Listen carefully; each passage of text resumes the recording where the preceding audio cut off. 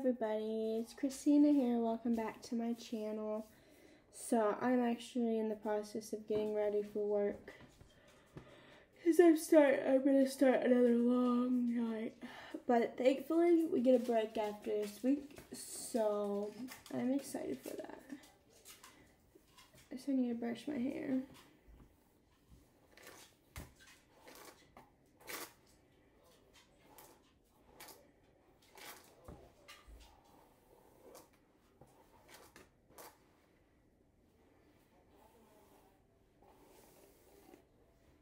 I always brush mine in the shower and then I brushed it while it was still wet, but once it dries, it kind of rats again. So just making sure I brush out all the rats. It's just a long day.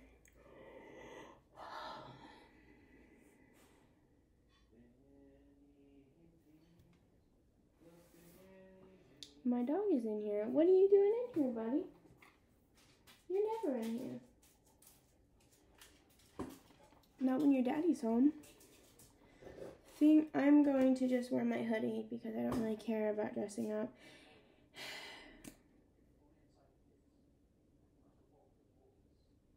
It's not raining. I thought it was raining for a minute. You know what? Oh, so I did um I did comment the wrong color. This is called Underage Red by Kat Von D. And I know there's been a lot of drama with her. I got the color on sale when I bought it. So that's really the only reason I bought it. I'm too tired to function right now. But right now, I have a lot of things I actually need to do at work. I just, I don't want to. do. I just don't, I don't feel like it. Okay. Guys, I was, I was cleaning this office, and this is old, very old. Sorry, dog, it's nothing important. But I found my liquid suede cream lipstick and Subversive Socialite.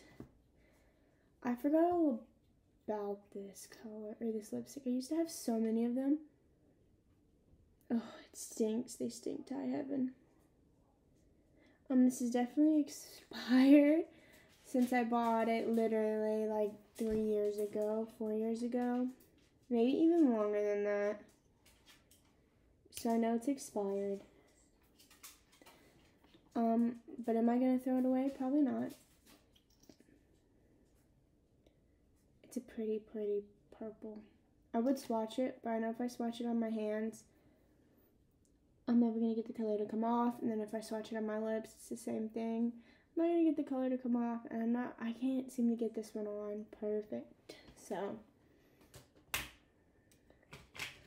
definitely not to swatch that.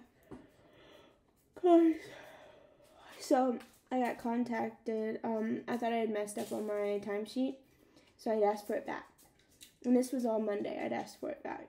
And, uh, I heard no reply. I heard no reply. Well, this is Monday of like last week. So I, um, on Friday, I told my supervisor, I'm like, hey, I haven't heard about that, and I haven't had my mailbox set up. So I told him that, and I couldn't get a response. So I emailed her, and she's like, oh, I've already approved it. The thing is, I know she's seen my email asking her not to on Monday, but she approved it on Thursday. So she's like, you're gonna have to fill out the paper form. Well, I said, um, she sent that to me Friday afternoon, which I was done off work, so I wasn't gonna answer. And then she, um, she sent it today, which is Monday. She got my um, big boss involved and was like, hey, you need to send her your leave form, but they wanted me to do it all on paper. And I was like, no, there's no mistakes. No. Which, honestly, I had kind of, it was kind of on me because I just thought I had made a mistake. But I didn't. I just kept overthinking my hours. So,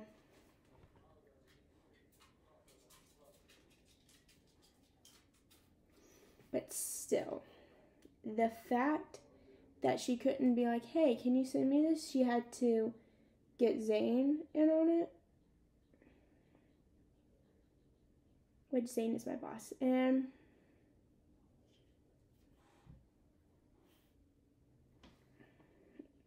I don't know. I just think it's that whole situation is just it's very irritating because like I I am I can get why she's mad. I got her in trouble, but also for things that she should have never told me. And that was on me. I shouldn't have told him what they were saying about him. That is on me. I can say that. But like not owning up to what you did. There's something wrong with these people.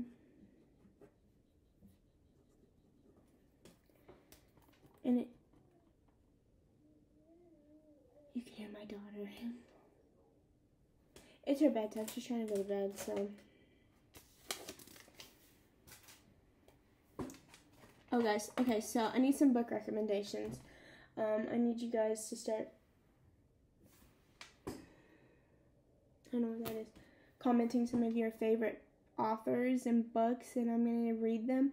We're going to have a discussion because I just, for the first time, read Me Before You. And it broke my heart because I've never seen the movie. Like, I've seen clips, like from the trailer, but I'd never actually seen the movie. And boy, did it pull on the heartstrings.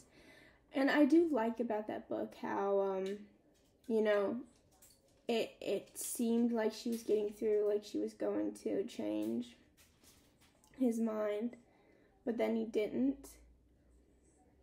So I mean, it's it's nice to know that not everything in a book we don't always get what we want, and you know he did leave her some great surprises, which were awesome. I'm so very happy. It's such a good book, very very heart heartfelt. My next one, I don't know what will be, but I will pick it out.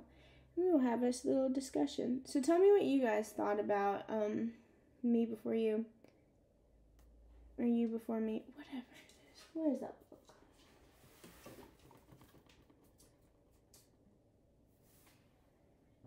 I honestly don't know where I put it. It's here somewhere.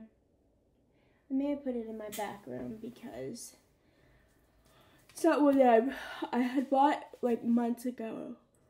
It's not really one that I've read, so before.